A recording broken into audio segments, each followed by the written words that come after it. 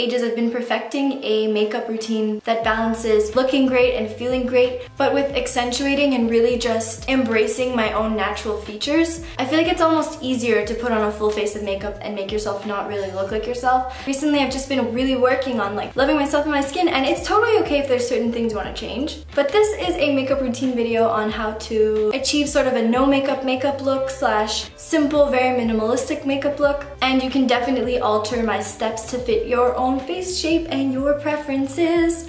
Um, but yeah, so if you care to bear my terrible, terrible jokes and incredibly obnoxious YouTuber poses and freakishly unrealistic changes of angle, um, you might just enjoy this video. so we are going to start the makeup routine. Hello. So this is my natural face.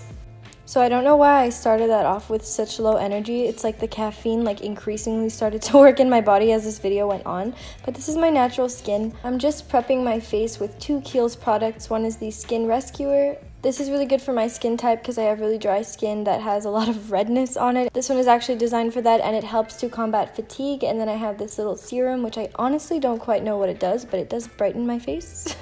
That's what I've noticed and it makes me look a lot healthier.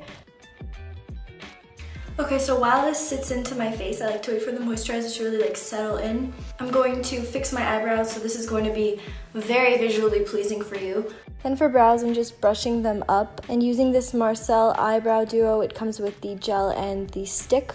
The stick, I guess the pencil. I'm just filling in my brows as lightly as possible. I don't want it to show too much. Just pretty much filling in any bald spots.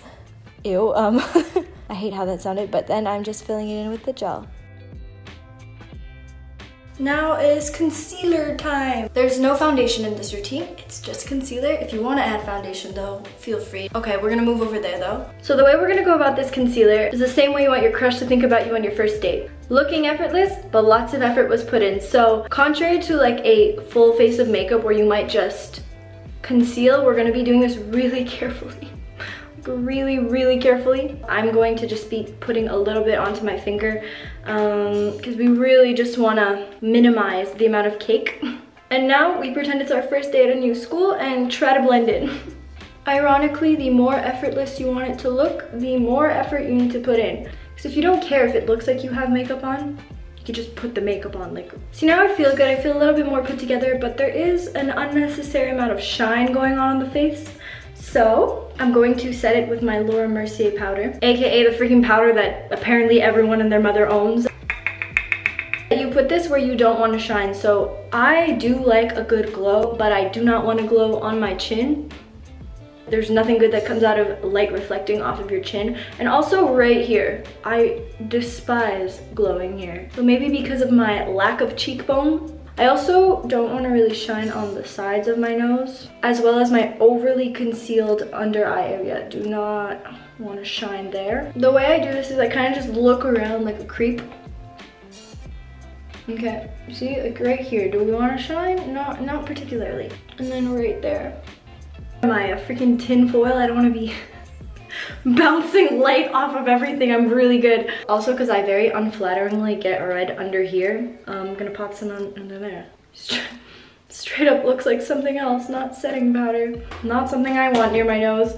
Um, scared to snip. I concealed really heavily here and here, which is where most of my freckles are. So now my freckles are feeling sad and hidden like the bag of Sour Patch Kids I have on my bedside table. I'm going to ever so carefully redraw them, but only exactly where they are. I'm not adding any. So carefully, guys.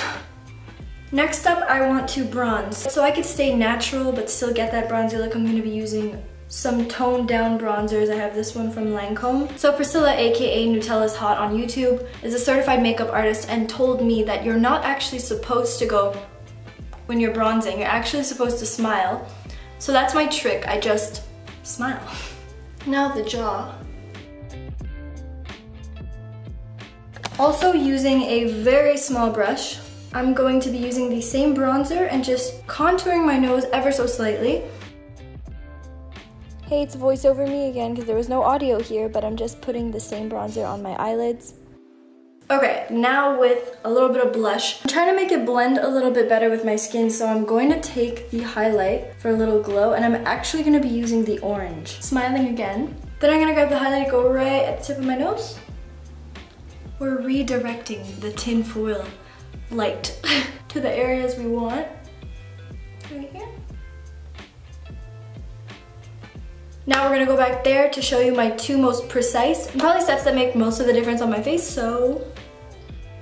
Okay, so my biggest tip for lips, it's really the stupidest secret ever. It's not really a secret at all. I feel like everybody knows this. It's just the precision and level of detail you put into lining your lips, literally it, with a lip liner that is exactly your lip color. Exactly, exactly your lip color.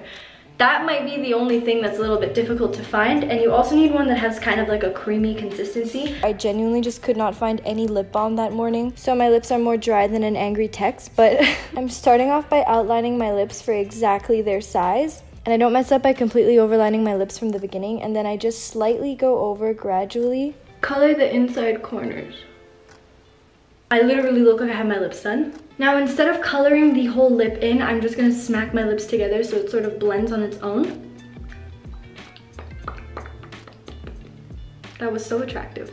So now we have options. You want it to look natural, so obviously having a matte lip is not gonna look so natural. Just taking a Kleenex and rubbing the crap out of it. So if you want to brighten it a little bit, you could use a lighter lip gloss. You could also opt for a clear or like almost clear, really sheer pink. This Buxom one, Buxom, one in clear. Actually, I think this is clear. It's ever so slightly tinted. I kind of would prefer that. For example, if I put on the Marc Jacobs one, the color would be very pigmented. See?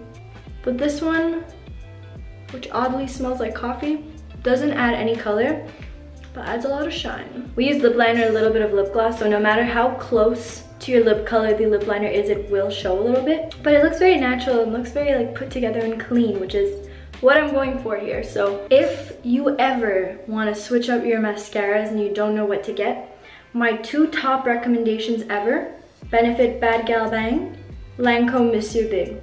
I switch between these all the time I could literally do one eye of each right now. It's gonna do the exact same effect. Should I do that? I decided to hop on back over here. Okay, so I interchange between them on a daily basis, so I'm really just gonna like Russian roulette it right now. I'm gonna pop them in this shower cap. And I'm just gonna grab one.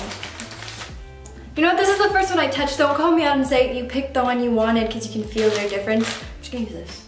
If anything, this one's much older than that one because that one I just got a refill, so don't hate me. Are you ready for this? I promise you you're not. There's not much to say here because I'm applying mascara, so I'm just going to tell you about my little problem of the day. I'm craving a coffee, but we don't have the coffee pods that I really want anymore, so I made a matcha. But I over concentrated the amount of matcha in my cup, and it's just not that yummy. And yeah, so that's my sad sob story of the morning. Let's continue on. no, wait, never mind. We're done the look, so I'm just gonna stop talking while I pose.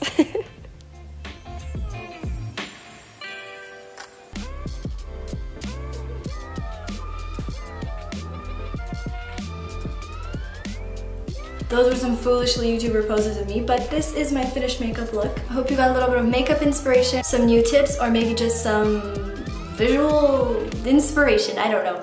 If you'd like to, please subscribe. I'm almost at 500 subscribers, which is cool. And hopefully I will see you in another one of my videos. Bye!